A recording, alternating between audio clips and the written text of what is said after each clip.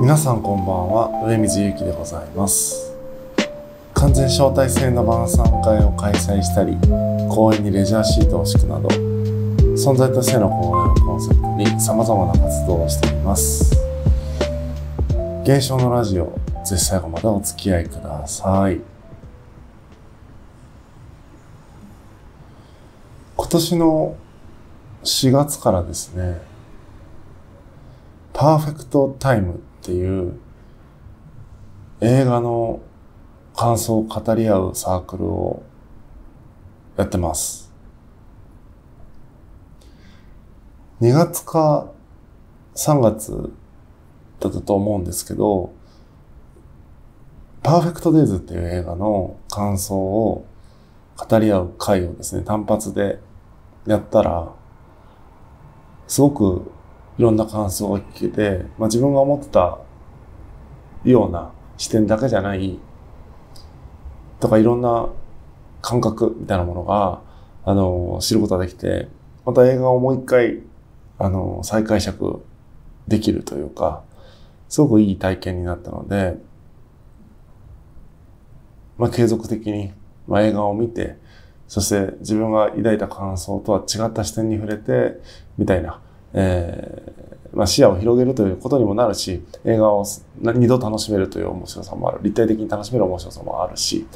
あとは僕自身が映画を全然見たいけど、なかなか2時間とか集中して見ることができないので、課題にしてしまってですね、見なければならないという状態にすることによって、えー、一本はね、少なくとも映画が見れるというような、そういう習慣づくりも含めて、えー、やっているという活動なんですけども、まあ、4月から、その、やりますと募集をかけたら、すぐにですね、定員埋まって、今僕を含めてですね、7名で毎月活動をしています。初回がジョーカー、2回目が暗殺の森、3回目が花束みたいな声をした、4回目がゴースト・イン・ザ・シェル、広角機動隊、えー、5回目がこちら、アミコ。ということでですね、かなり毎回違った感じの映画でですね、まあ、誰かの得意なジャンルに偏ってるってこともなくて、みんなでアイディア出し合って、その後ですね、7人のグループの中で、候補に上がった映画をですね、まあ、投票機能を使って投票して、まあ、一番みんなが見たいって言った映画を見て、次の回に臨むというような感じで、毎月ですね、今、やってるんですが、10月20日日曜日ですね、次回のこのパーフェクトタイムは、そのサークル外の人と言ったらあれですけども、その一般の方を募集して、えー、イベント的に開催したいなというふうに思ってます。10月20日日曜日朝9時半から11時の1時間半ですね。えー、まあ、朝活ってほど早い時間じゃないですけども、まあ、休日の朝にですね、えー、まあ、映画の感想を語り合ってみませんかということで、えー、今日はその告知をしたいと思ってるんですけども、10月20日の課題映画は、えー、X の方でですね、投票させてもらって、していただいて、えー、なんだったかな。いくつかの映画の中から、えー、決定したのはですね、2001年宇宙の旅ですね。で、改めてですね、この回のというか、今回のイベントの、えー、概要をお伝えしておきますと、まず目的としてはですね、様々な人の映画の感想に触れてですね、自分とは違った別の視点で映画を再解釈するってことが目的としてますんで、えー、なんていうんですかね、映画の知識をこうひけらかすような場ではないですし、誰かの感想を間違ってるとか、えー、稚拙だとかね、そういうことを言う場所ではない。いろんな感想があるんだなということを、えー、に触れてですね、あ、そういう見方もあるのかとか、そう思った人がいるんだなということを知っていくことで、まあ立体的にですね、この映画がどのように見られているのかっていうことを感じるっていうことはですね、えー、目的としています。で、まあどうやってやるかっていうと、 Zoom ですね、 Zoom をつないでオンラインで開催します。で、古典のそのレギュラーメンバーが7名、僕含めていますんで、えー、今回はですね、5名、最大5名ですね、えー、募集させていただいて、全12名で開催しようと思ってます。で、12人で話すのちょっと難しいんで、ブレイクアウトルームを使ってですね、その12人を3人ずつぐらいの小グループに分けて、3人で語り合うみたいな感じにしようかなと。で、その小グループでの会話を、えー、まあ、グループ変えて2回ぐらいやって、で、最後に全体で一部感想をシェアするみたいな感じで、小グループかける2回のセッション、プラス全体でのシェアみたいな、えー、感じで進めていきたいなと思ってます。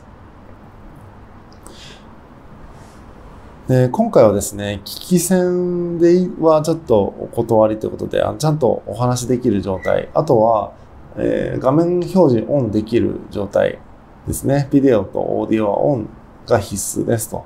えー、それ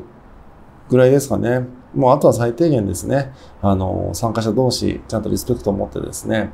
えー、接してくださいねというところぐらいなんで、まあ、基本的にはですね、インターネット環境があって、えビデオ、オーディオオンで参加できて、事前にですね、映画を見ていただけると。まあ、事前に見てきてくださいね。回の中で、えー、見ながらとか、見てないけど、感想だけ聞きに来ましたってのはちょっと NG ということで、事前に映画をね、2001年宇宙の旅を見てですね、えー、ご参加いただけたらと思います。映画をね、なかなか語り合う機会がない方は、ぜひこれを機にですね、えー、語り合っていませんかという、あの、特にね、経験したことのない方、おすすめですね。あの、映画語り合ったら、あ、こんな感じなんだっていうのは、僕もね、あの、どうせ死ぬ3人っていうポッドキャストで、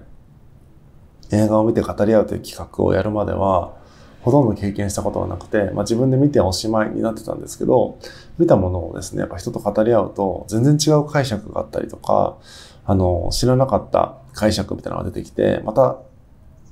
映画が違って見えてくるっていうのはね、一度見た映画が違って見えてくるみたいな面白さがあるなと思ってますんで、まあ、よかったらこれを機にですね、映画、えー、一緒に語りましょう。で、全然詳しくなくて大丈夫です。僕、映画全然詳しくないし、あの、なんでしょうね。なんなら映画を見るときも、あまり分析的に見たりせずに、あえてね、登場人物に感情移入することだけを考えて、えー、人物のですね、描写みたいなところばかり意識を向けて、えー、見るようにしてるんで、結構構造的な分析が出てきたりとかね、全然違う解釈、あのー、見方が出てきたりするとやっぱ面白いなと思うんで、僕自身全然そんな、なんだろう、しっかりと見れてる感じもしませんから、あの、安心して自分なりの感想を伝えていただけたら、えー、十分かなと思いますんで、気軽にご参加いただけたらと思います。概要欄の方にですね、えー、申し込みのページ、えー、リンク貼っておきますんで、えー、そちらね、え今日話したような情報も掲載されてますんで、まずは概要をご確認いただいて、で参加したいという方いらっしゃったら、え一応定員5名なのでですね、もしかしたら埋まっちゃうかもしれません。え早めにお申し込みください。本日は以上です。番組のご意見ご感想は、ハッシュタグ、現象のラジオをつけて、X でポストしていただくか、Spotify のコメント欄よりメッセージをいただけると継続の励みになります。また、現象の活動を応援してくださる方は、概要欄にあるリンクより、現象の LINE 公式アカウントをお友達登録していただけると嬉しいです。それではまたお会いしましょう。さようなら。